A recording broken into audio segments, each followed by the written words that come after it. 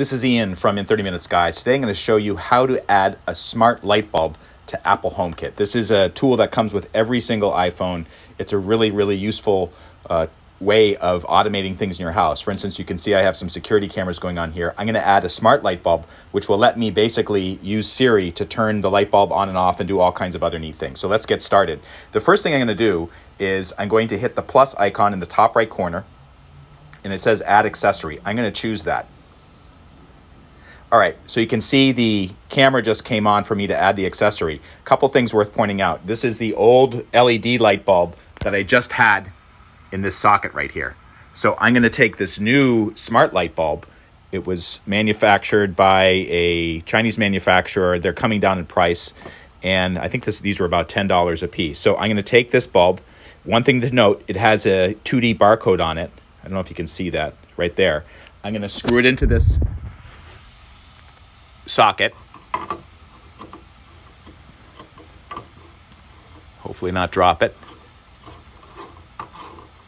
So this will let me turn on the basement in my light, uh, base, uh, the light in my basement with just a voice command. Okay, so it's when it starts up like that, it flashes on and off. So now I need to find the 2D barcode, and it's right here on the side.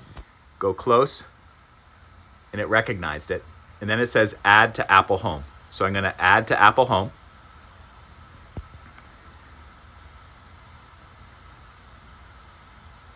One other thing that you should be aware of, this particular bulb uses a 2.4 gigahertz Wi-Fi network. So if you're using a 5G network or a 5.0 gigahertz Wi-Fi network, you may get an error message.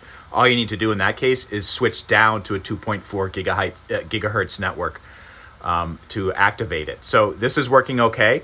It's in the basement. I'm going to continue. And what you can do now is you can give it a name. And I always recommend doing that. So click the little X next to it. And I'm going to call it basement door light. And then hit continue. Now, right away, there's some automations. When you arrive home, it can turn on. And when I leave home, it can turn off and basically what will happen is the iphone when it gets within range of my with one of these devices it knows that i'm around the around the area will automatically turn on or off. Uh, i'm not going to do that right now. I'm just going to hit continue. And light is added to my home